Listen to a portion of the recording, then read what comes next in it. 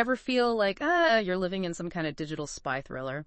Mhm. Today's deep dive is going to take that feeling to a whole new level. Yeah. Because we're talking about hacking groups, right?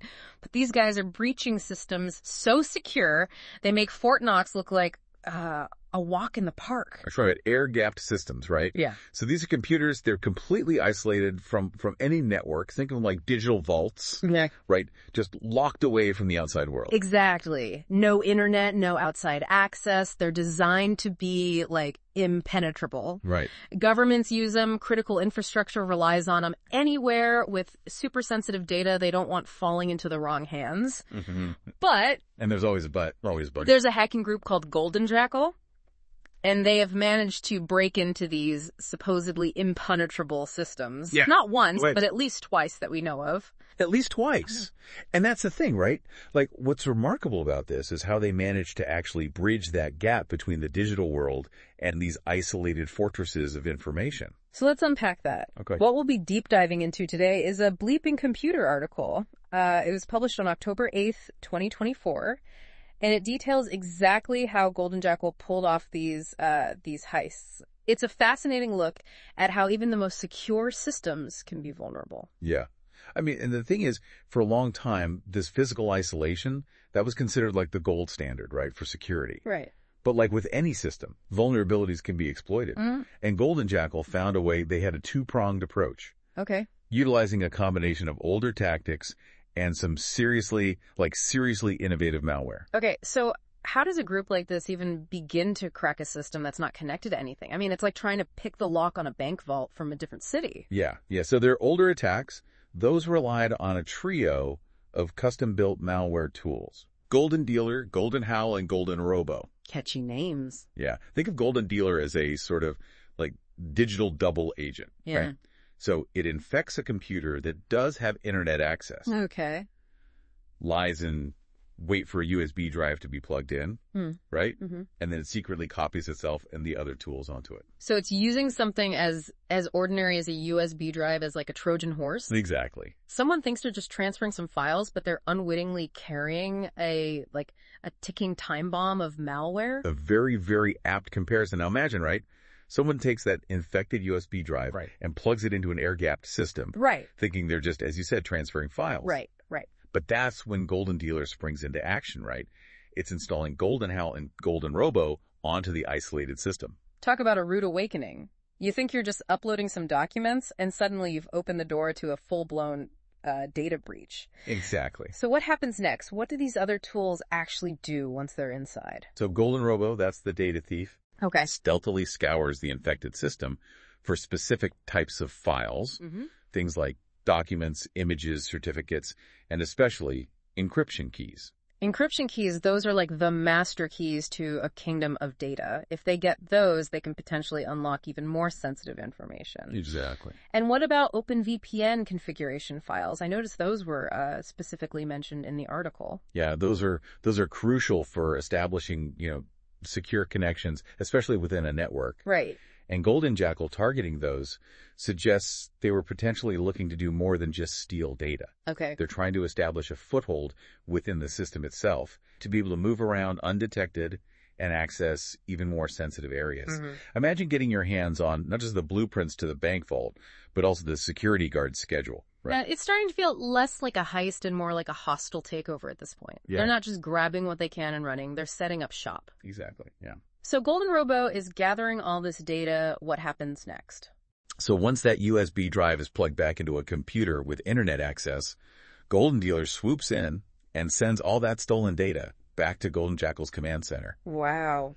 And that's not all. Remember, uh, Golden Howl. Right, the other tool that hitched a ride on the USB drive. What does that one do? So Golden Howl, right, that acts as a backdoor into the compromised system. Okay. It gives Golden Jackal a way to maintain access, steal even more files, scan for vulnerabilities, and like communicate directly with their, their command center. Mm-hmm. And while it can operate on air-gapped systems, it really comes into its own on machines that are connected to the internet, Okay. acting as a sort of, you know, digital sleeper agent. So not only are they stealing data, but they're potentially leaving behind a hidden doorway to come and go as they please. Yeah. It's it's giving me chills just thinking about it. Mhm. But from what I understand, they didn't stop there, did they? You're right. You're right. Around 2022, they kind of shifted gears. Okay. They adopted a new set of tools that were built on a more um, modular approach. Hmm. So imagine switching from like a one-size-fits-all tool to like a highly specialized toolkit. Right? Yeah. This allowed them to kind of spread tasks across different machines, making their operation even more efficient and even hard to detect. So like a Formula One pit crew, each tool with a very specific job to do. Precisely. Very cool. This new toolkit, it includes some updated versions of their old tools, but with some interesting new additions. Like what? They've got Golden Ace. That's their new and improved tool for infecting USB drives. Okay.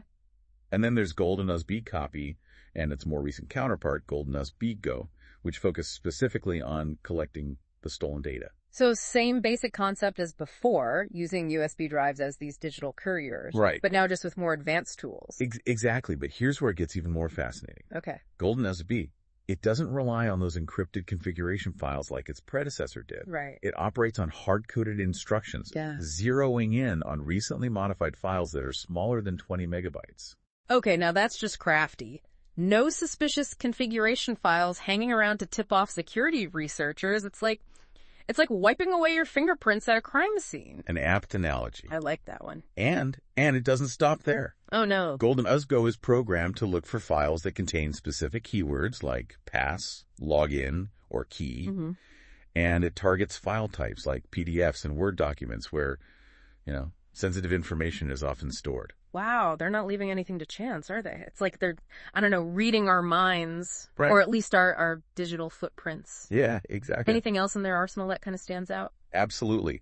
They developed a Golden Blacklist and its Python counterpart, Golden Py Blacklist. Mhm. These tools are all about stealth, so they filter and archive specific emails before they're actually sent out, Good. making sure only the most valuable intelligence is taken.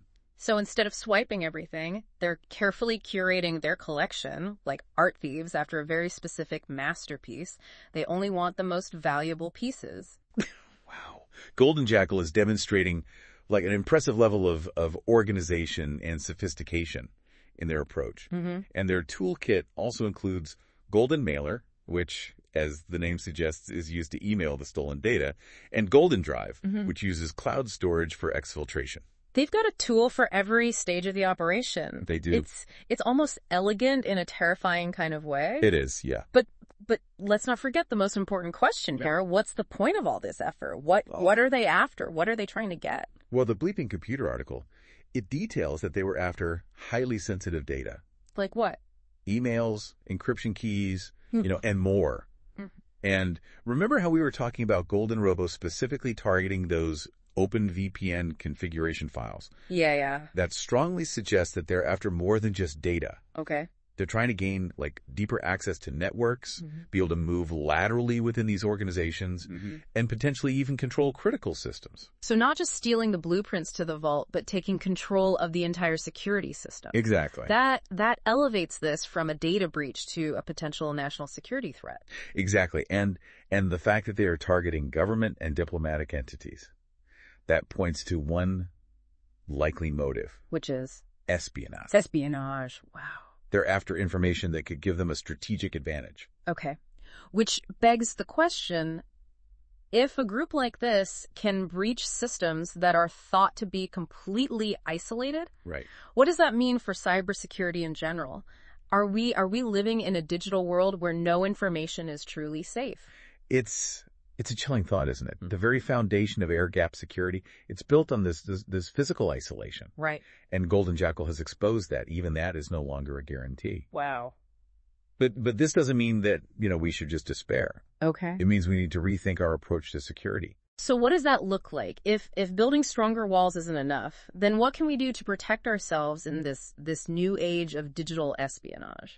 It's, it's no longer enough to rely solely on like static defenses. Okay. We need to uh, anticipate, adapt, and be one step ahead. Okay. And that brings us to the crux of the matter. Okay. How do we fortify our digital fortresses against such, you know, cunning adversaries? Let's explore that further. What are the takeaways uh, for organizations, especially those dealing with, you know, super sensitive information?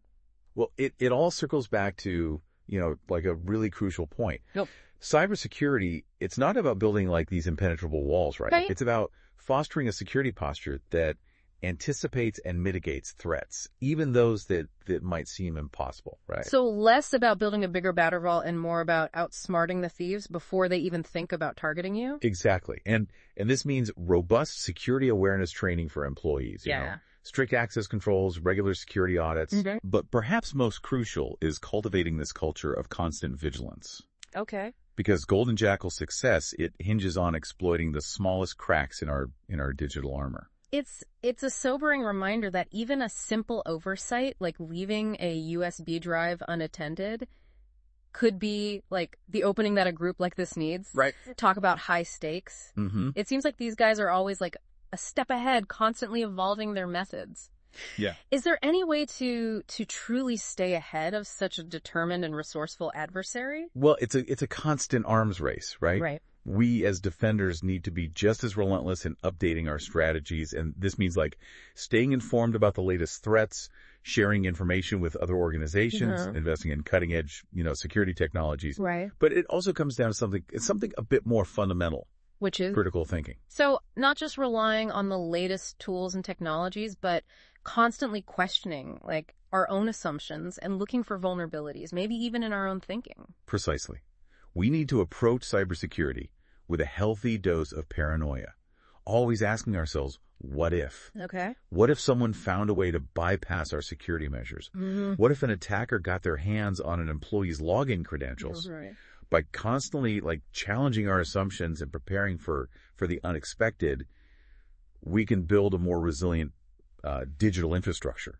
It's it's like that old saying, trust but verify, or in this case, trust no USB drive ever. Right. But on a more serious note, this really highlights the importance of cybersecurity awareness, not just for, you know, large organizations, but for for individuals as well. Absolutely, because everyone has a role to play in this digital ecosystem. Mm. Understanding the basics of online safety, practicing good password hygiene, and just being like cautious about suspicious emails or, or links can go a long way in, in preventing these types of attacks. It's it's like locking your front door even if you live in like a really safe neighborhood. Right. You're not being paranoid, you're just being cautious. Exactly. Yeah. Mm. This deep dive into Golden Jackal's activities has been uh, eye-opening to say the least. Yeah. If there's one key takeaway for our listeners, it's that in the digital age, knowledge is power and complacency, complacency can be our Achilles heel. Well said.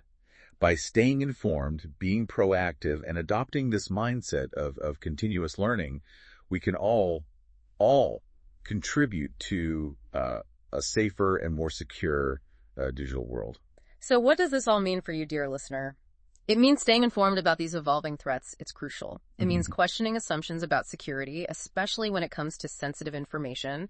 And it means being proactive in implementing strong security measures, even if you think your systems are already secure, because, as we've learned from Golden Jackal, no system is truly impenetrable. That's right. In a world where data is the new gold, the race is on to protect it. hmm And in this case, the finish line keeps moving. It does. It does. Stay vigilant, stay informed, and stay ahead of the game.